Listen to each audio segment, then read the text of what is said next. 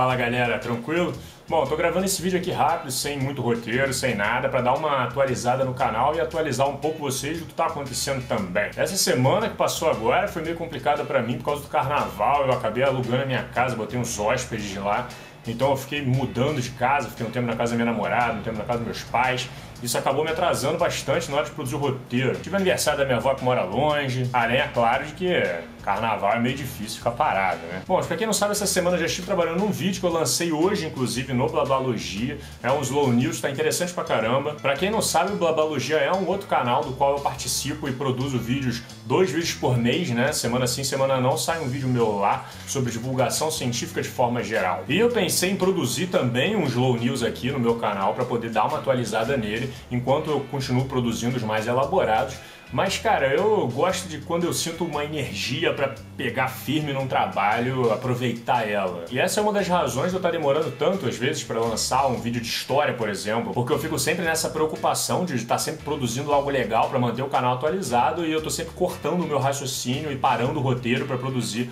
alguma outra coisa para atualizar vocês. Mas dessa vez eu achei melhor não. Vou lançar esse vídeo aqui falando um pouco sobre as redes sociais, falando um pouco sobre o meu papel nelas, algo que é bem fácil de fazer e eu acho acho que é algo que eu posso acrescentar a vocês, pode ser interessante para muita gente. Enquanto isso, eu continuo trabalhando no próximo vídeo de história, que eu já estou no meio do roteiro, pretendo lançar até semana que vem e vocês vão gostar muito, que é um vídeo bastante pedido por vocês. Bom, tem muita gente que gosta do meu trabalho, me acompanha bastante, mas fica limitado só aqui ao YouTube, não sabe o que, que eu ando fazendo nas outras redes sociais, que é algo que também exige bastante do meu tempo e eu acho que tem muito que agregar a todos vocês. Bom, em primeiro lugar, o YouTube ele anda meio maluco da cabeça já algum tempo, porque às vezes ele desescreve as pessoas, ele não envia todos os vídeos que eu, que eu lanço, né? Vai entender por quê. Então, se você quer ficar sempre por dentro do meu trabalho, esse já é um primeiro ponto positivo para você. Para quem não sabe, eu tenho uma página no Facebook, a página do canal do Slow, onde eu sempre coloco todas as atualizações lá. Eu sempre mando todos os vídeos, tanto do meu canal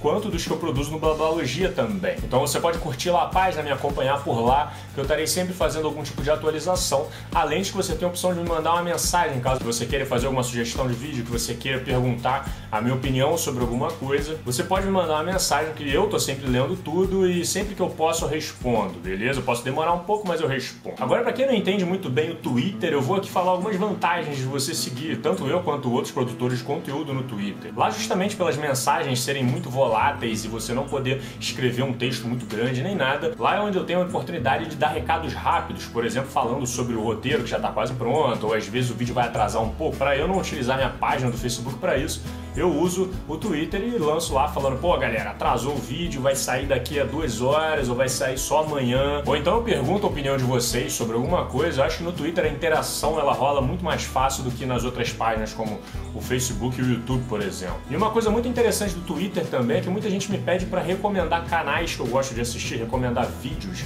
E no Twitter acontece exatamente isso, porque eu tenho ele vinculado com o YouTube e eu dedico mais ou menos, sei lá, pelo menos uma hora por dia assistindo dos canais que eu gosto, eu consumo bastante material interessante no YouTube. E sempre que eu dou um like no vídeo, ele aparece direto na página do Twitter para você ver que eu recomendei aquele vídeo, aparece como eu gostei daquele vídeo. Então, se você estiver interessado em algum material além, às vezes você pode descobrir alguns canais interessantes através de mim, podendo acessar minha página no Twitter e lá uma vez por dia para dar uma olhada ou acompanhando mesmo em tempo real e descobrindo novos canais interessantes e vídeos interessantes do momento que eu entrei em contato. Caso você realmente não queira fazer um Twitter, mas tenha se interessado interessado por essa parte específica, você pode também acessar a página principal do meu canal no YouTube e ir descendo as listas, a última delas vai ser os vídeos marcados como gostei. Então lá vai ter a lista dos últimos vídeos em que eu dei like, beleza? E também agora novidade para mim, inclusive na minha vida, eu criei agora ontem um Instagram. Eu nunca tive um Instagram na minha vida, eu sou péssimo com fotos, mas eu tô começando a entender um pouco como funciona e eu acho que, que pode ser interessante para todo mundo. Eu tô pensando em formas de produzir algo interessante. Antigamente eu fazia o Snapchat científico, né, em que eu produzia vídeos pequenos de 15 segundos falando sobre alguma novidade científica de forma bastante rápida mesmo.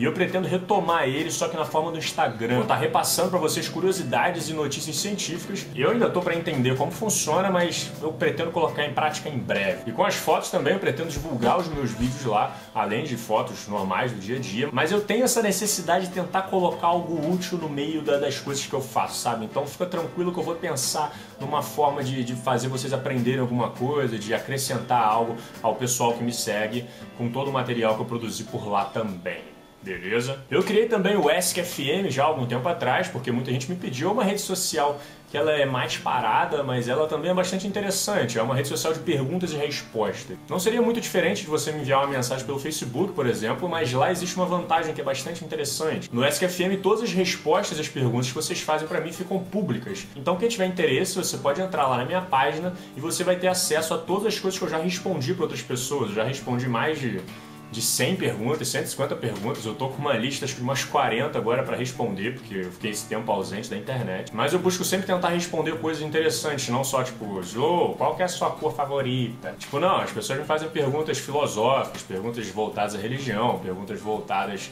ao social, à política, enfim. Pode ser que você encontre alguma coisa interessante por lá. Às vezes eu demoro para responder, mas eu sempre respondo. O Snapchat pode ser que eu volte algum dia, mas eu acho que isso não vai acontecer porque eu acabei de conseguir esse celular no, novo, não, né? Que é um celular usado, mas é o Windows Phone. O Windows Phone não funciona a porra do Snapchat, então eu não sei quando que eu vou trocar de celular de novo. Eu não costumo trocar com muita frequência. Eu só troco quando alguém da família troca e sobra um pra mim, aí eu vou lá e pego se ele for melhor do que o que eu já estiver usando. Mas por enquanto o Snapchat vai ficar ausente mesmo. Eu vou tentar transferir o trabalho que eu fazia lá pro Instagram, tentar me adaptar. Eu acho que é uma rede social que tem mais gente também, pode ser mais interessante para todo mundo. Quem quiser me seguir no meu perfil pessoal do Facebook também, pode ficar à vontade para seguir. Eu só peço que não fique mandando muita mensagem no inbox, tipo, dê preferência a usar a página do canal do Slow para entrar em contato comigo, que fica mais fácil de eu responder você. Mas fica à vontade para interagir comigo nos comentários dos posts que eu fizer. Eu costumo sempre tentar fazer posts minimamente instrutivos ou construtivos ou qualquer coisa do tipo. Eu costumo compartilhar textos e vídeos de outras pessoas que eu sigo que eu acho que são bastante interessantes também. Então pode ser que você encontre um material legal por lá também me seguindo, caso te interesse. E agora, por último e extremamente importante, eu não queria fazer um vídeo só para isso, porque eu já fiz o vídeo do Apoia-se, onde eu resumi toda a minha ideia sobre essa questão do apoio que vocês dão ao canal. Mas eu criei agora ontem o Patreon, que é a versão do Apoia-se para quem não mora no Brasil, uma versão que é em dólar, que é mais fácil para quem está fora. Então, se você é de fora do Brasil, gosta do meu trabalho, gostaria de me pagar uma cerveja algum dia, gostaria de poder me ajudar a continuar construindo e fazendo o canal do Slow crescer cada vez mais, agora você tem a oportunidade de se tornar um dos apoiadores através do Patreon. Eu vou passar a deixar o link do Patreon na descrição do vídeo também. E eu vou ficar eternamente grato se você resolver investir no meu trabalho e acreditar nele, porque quando você acredita no meu trabalho, você me faz acreditar nele também, você me faz acreditar que é possível eu me dedicar em tempo integral à produção dos vídeos, à divulgação científica, à divulgação do conhecimento pelo YouTube e pela internet de forma geral também. Bom, então é isso, eu espero que vocês não fiquem com aquela sensação de ah, o Slow só tá fazendo isso porque ele quer ganhar mais seguidor. É óbvio, óbvio que eu quero ganhar mais seguidor, mas eu tenho sempre a preocupação de produzir algo legal para vocês. Eu quero que mais pessoas tenham acesso ao conteúdo que eu produzo, ao tipo de reflexão, mesmo aos textos, às fotos, nem que sejam os pequenos twitters que eu faço com às vezes algumas ideias que eu lanço. Tipo, eu quero poder compartilhar os meus pensamentos, o meu conhecimento, as minhas reflexões, tudo isso com vocês e quero ter esse feedback também. Então, quanto mais conexões a gente criar, mais a gente vai ter isso, mais a gente vai crescer, mais a gente vai divulgar esse tipo de pensamento pelo Brasil ou pelo mundo afora. Então, espero que esse vídeo aqui seja útil para vocês de alguma forma. Desculpe a ausência na semana passada. Tem vídeo novo aí no Blablalogia. Quem não assistiu, vai lá assistir. Fiquem aguardando porque em breve vai estar tá saindo um vídeo foda de história para vocês, que é muito pedido no canal há muito tempo beleza?